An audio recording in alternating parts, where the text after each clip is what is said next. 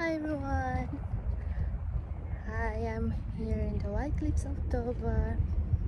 So I'm just gonna talk about about spending time with yourself. Um, there are times that we need to spend time traveling with our friends, our family, our loved ones, but it's very vital that we find time to be with ourselves, to know our soul more, and to just be connected more with God, the divine, the universe, our guides. And yeah, so I had a lovely time today. Here I have the best of both worlds today. And look at those flowers too. Look. So I have been really connected to birds since this past few months and I feel more connected with them as I was up there.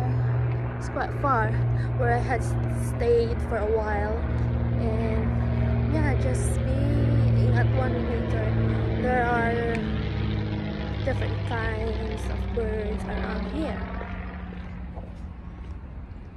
So yeah it's been a long time that I wanted to do this trip with someone but you know what I realized along this soul journey or this twin flame journey? Just continue where you want to travel the places that think that your soul is craving or is that calling your soul? Because there's really something there for you. Like for me I have been here for the fourth time in Dover but it's my first time to come here in the White Cliffs. It's so amazing. It's really huge area and so serene. I really had a lovely time all the way up there. So I've been here for about over about three hours now I think. So I'm just heading back to my hotel. Yes I'm taking a different road this time. So yeah it's just a simple reminder especially when you need clarity or make it a commitment to yourself to just really find time to explore new places or even if it's not a new place. Like for me I'm thinking to be in this place even just once a month. Especially like I love the seaside also connected with the ocean.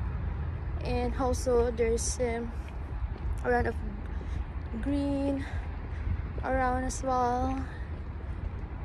So it's a best of both worlds for me. So yeah it might be simple but sometimes we need to remind ourselves to really just spend time with yourself your higher self your guides the divine god and it's best to spend it with nature. Okay take care everyone